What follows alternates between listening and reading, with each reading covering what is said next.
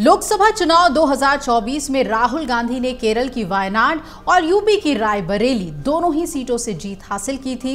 लेकिन राहुल ने अब वायनाड सीट छोड़ने का फैसला ले लिया है और रायबरेली से ही वो सांसद बने रहेंगे। अब कांग्रेस ने वायनाड से उपचुनाव में प्रियंका गांधी को उतारने का भी ऐलान कर दिया और इसी के साथ गांधी परिवार का एक और सदस्य चुनावी राजनीति में दक्षिण से एंट्री करने जा रहा है। गांधी परिवार का साउथ से पुराना पुराना रिश्ता रहा है। इंदिरा गांधी 1978 का उपचुनाव कर्नाटक के चिकमगलूर से जीती थी और इसके बाद 1980 में इंदिरा ने आंध्र के मेडक सीट से जीत हासिल की। 1999 में सोनिया गांधी ने भी अपना राजनीतिक करियर दक्षिण से ही शुरू किया था। वो 1999 में अमेठी और कर्नाटक के बेल्लारी दोनों सीटों से चुनाव लड़ी और दोनों सीटों पर जीत भी हासिल की थी।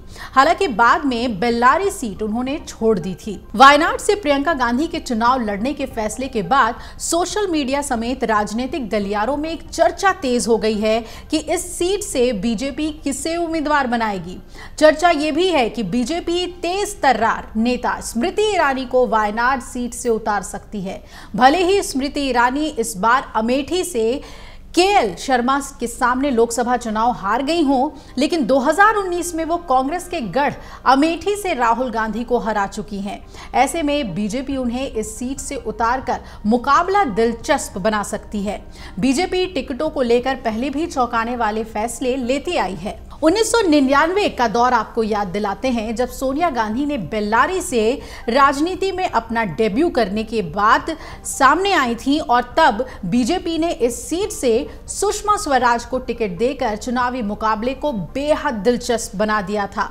सुषमा ने इस सीट पर सोनिया गांधी को कड़ी टक्कर दी थी, हालाँकि वो इस चुनाव में हार गई थी। सोनिया गांधी को चार लाख चौदह हज़ार वोट मिले थे, जबकि सुषमा स्वराज ने साढ़े तीन लाख से ज़्यादा वोट हासिल की थी। सोनिया गांधी ये चुनाव करीब छप्पन हज़ार वोटों से ही जीत पाई थी। अब देखना है कि क्या कांग्रेस जो दाव पर दाव चल रही है, उसके जवाब में बीजेपी भी एक नया और बड़ा दाव चलती है और स्मृति ईरानी जो अमेठी से चुनाव हार गई, उन्हें वायनाड से उतारती है।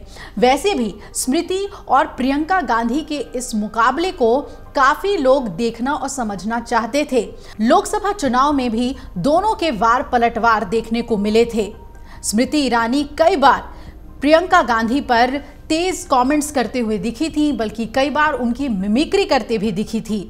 अब देखना है कि ये लड़ाई वायनाड की प्रियंका गांधी के लिए बिल्कुल स्मूथ साबित होती है सिंपल साबित होती है कि भाई की विरासत बहन को मिल जाती है, या फिर बीजेपी इसमें कोई बड़ा पेच फंसा देगी स्मृति ईरानी के नाम से। स्मृति जाने जाती हैं अपने जुझारूपन के लिए और अब उत्तर के बाद क्या दक्षिण से उन्हें बीजेपी मौका देती है? अगर ऐसा होता है तो वायनाड का उपचुनाव सबसे ज़्यादा दिलचस्प हो जाएगा और देश का ये सबसे वीआईपी सीट भी माना जाएगा, जहाँ दो स्त्री शक्तियों को देखने को मिलेगा चुनावी भिड़ंत में। और क्योंकि ये प्रियंका गांधी का डेब्यू है, यानी कि पहली बार वो चुनावी समर में उतर रही हैं तो ऐसे में क्या उनके इस चुनावी अभियान को, जो पहला उनका अटेम्प्ट है, उसको रोक पाएँगे स्मृति ईरानी? ये देखना बहुत ही दिलचस्प हो जाएगा।